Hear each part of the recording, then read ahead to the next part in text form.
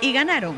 El UNELCO se proclamó campeón insular de la categoría cadete tras vencer 58-55 al Canarias en un emocionante encuentro que reunió a unos 400 espectadores en el pabellón Paco Álvarez de Santa Cruz.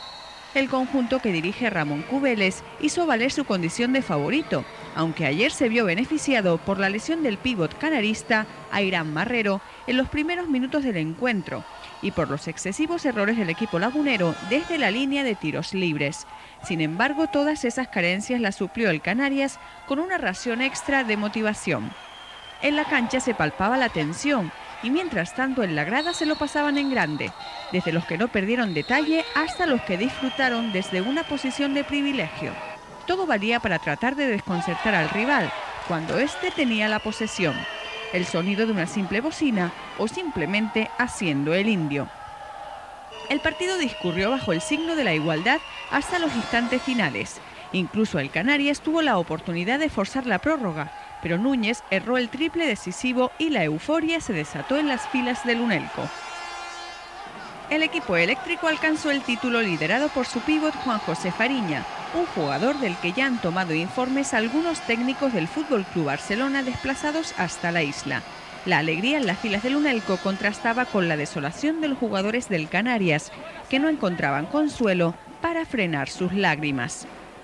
Además de comprobar el gran nivel de los jugadores, la final cadete sirvió para certificar la paradoja que vive el baloncesto tinerfeño la base está en pleno auge, mientras que Tenerife Canarias y el CEPSA atraviesan por su peor momento y no logran atraer a tantos espectadores como los que acuden cada fin de semana a presenciar los encuentros de categorías inferiores, una circunstancia que preocupa mucho y a la que se le intenta buscar remedio.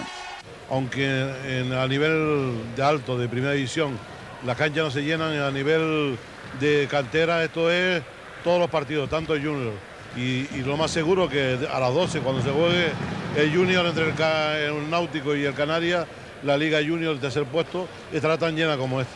El baloncesto por arriba parece estar muerto y por debajo está más vivo, yo me atrevería a decir que casi casi que nunca. Este año se están viviendo unas eliminatorias de infantiles, de cadetes, de juniors súper intensas, con mogollón de gente en todas las canchas y la verdad es que por arriba está muerto el fenómeno porque está claro que es un desencanto, no se está viendo buen baloncesto por arriba, está viendo un baloncesto extraño, Además a la gente no le gusta esto de la política, no le gusta oír hablar del Tenerife Canarias, del cabildo, de las subvenciones, del dinero, de los jugadores arriba y abajo y estas cosas parece que no, pero son granitos, granitos que se van, se van sumando y al final, ¿qué logramos? Que por debajo la gente está viva y lo que realmente interesa es esto porque además hay emoción, hay buen juego y hay espectáculo y es lo que quiere la gente.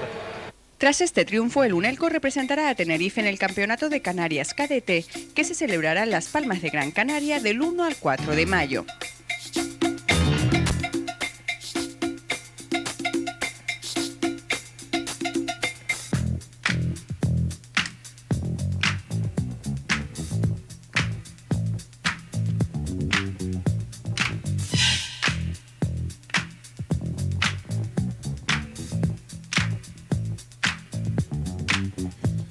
To the hip hop, the hip it, the hip it to the hip hip hop. You don't stop the rockin' to the bang bang boogie. Say up jump the boogie to the rhythm of the boogie to beat. Now what you hear is not a test. I'm rapping to the beat, and me, the groove, and my friends are gonna try to move your feet. You see, I am Wonder Mike, and I like to say hello.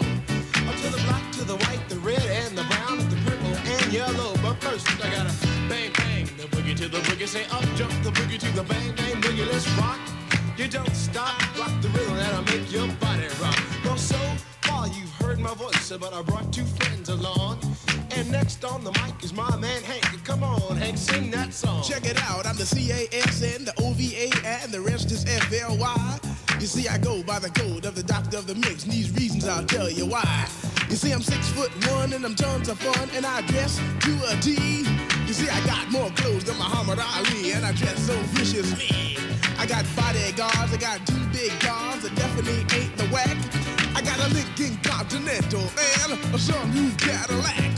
So after school, I take a dip in the pool, which is really